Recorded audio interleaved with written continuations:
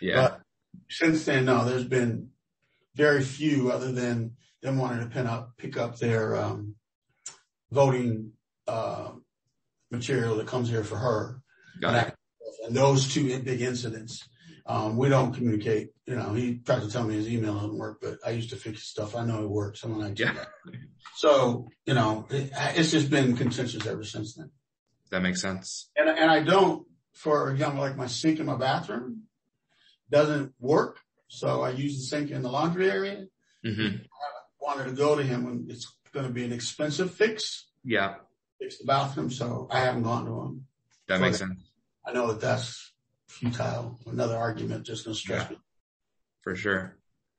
Um, let's see. A couple more questions about the, the rent during the pandemic. Um, you said that there were some months you paid the 25%. There were some months you paid the, the 50% to appease him, you said. Um, how do you sort of decide what, what to pay? Yeah. Can you walk me through a little bit more about, uh, how you decide what to pay?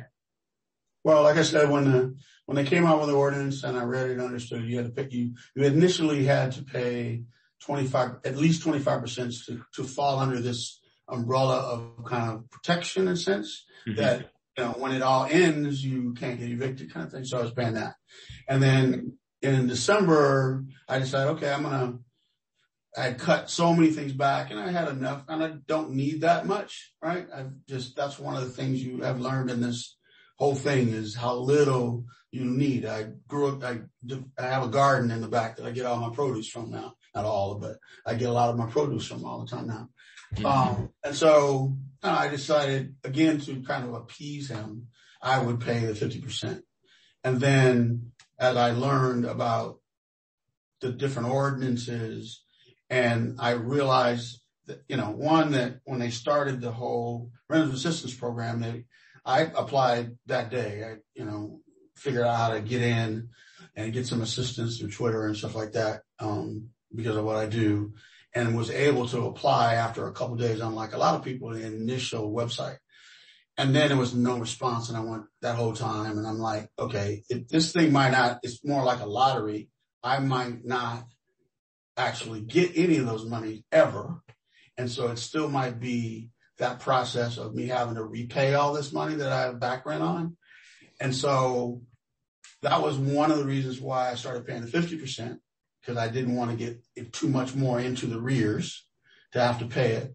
And then two is when I stopped doing 50%, and went back to 25 and considered not paying anything at all.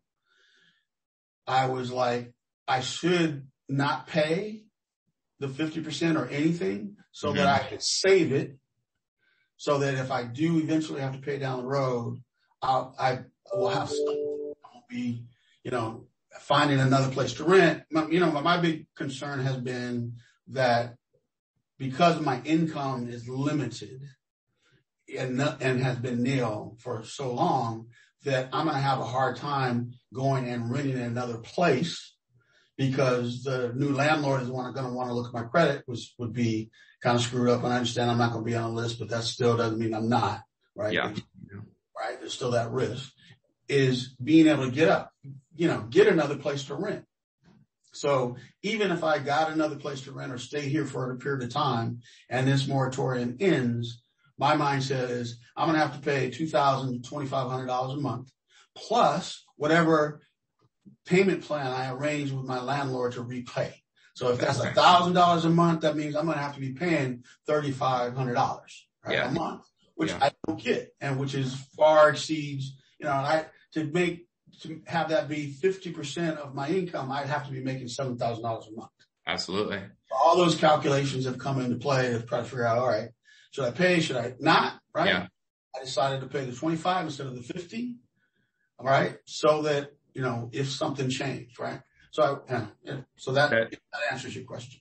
Yeah. And that leads into the next question really, really smoothly, which is, um, is there anything that would make you decide or force you to move? And then if so, where would you move?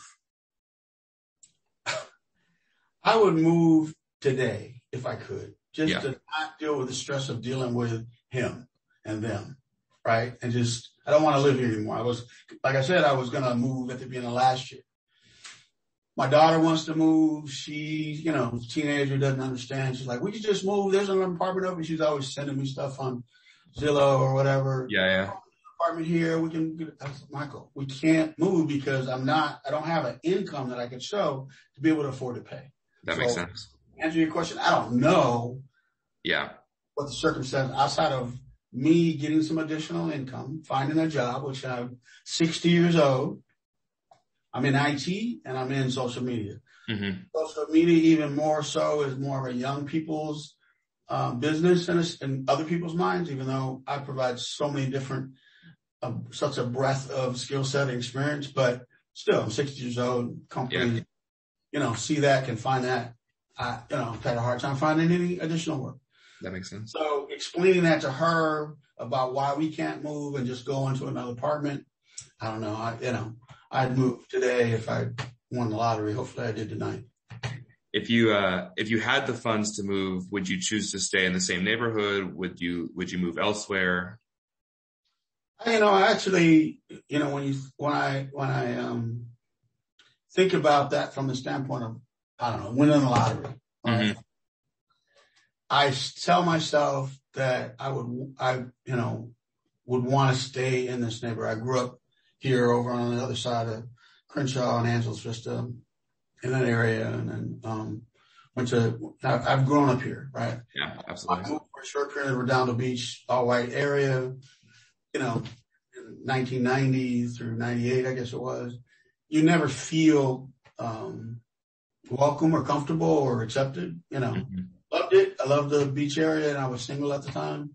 Decided to move and buy a house, which and get married, which is a mistake, but, um, but at the same time, there, the, the things that we deal with in Leimert Park and in, you know, the Crenshaw area in a sense, the helicopters, the unrest, the, mm-hmm. you know, the police situation, the homelessness, all that stuff. I think I would move away for a time and invest here and eventually come back. Mm, interesting. I, I, don't know what I would do, right? I know I probably, the one thing that I would do if I could move today is I'd move closer to my daughter's high school in, in Hamilton High School, which is over in the Fairfax district. Yep. So it's easier for her to get to school. Great. Excellent. Thank you. Um, so I'm going to give you a list of a few things and you can just say whether you've would say you've experienced this during the pandemic or not. Uh, so the first is housing discrimination. Yeah, um, in a sense that I, I don't know if it, I don't say it's racial discrimination, but it was housing discrimination in terms of people understanding the plight yeah. of needing or wanting to go somewhere and you feel the discrimination because in Los Angeles and California, you can't fucking afford to move. Mm-hmm. The stuff that is out there is just so, you know, that in its essence is discrimination. They're not even giving you options. Yep, I understand that. Of where you could go to be able to afford to live on a, you know, and I, I made relatively good money, but it's mm-hmm. still a push. I understand that. Have you faced um, illegal rent raises above 3%. Yeah. He tried to, he, you know, over the course of time, you know, I, I, I said I had the family thing. He came in, you know, every year or so and said, Oh, I'm going to raise this. And then I think the last one that he did was probably 2019 or 18. Mm-hmm. Tried to raise it to whatever it was. And I was like, dude, that's like, you know, a hundred dollars or two hundred dollars more than it was. Yeah. You know, a large, well, well over. Well, yeah. You know, I can do whatever I want, single family. Single, yeah. Single family house. I don't, it doesn't, all that California rent doesn't apply. And it didn't. Yeah. Right? Come back and change it, right?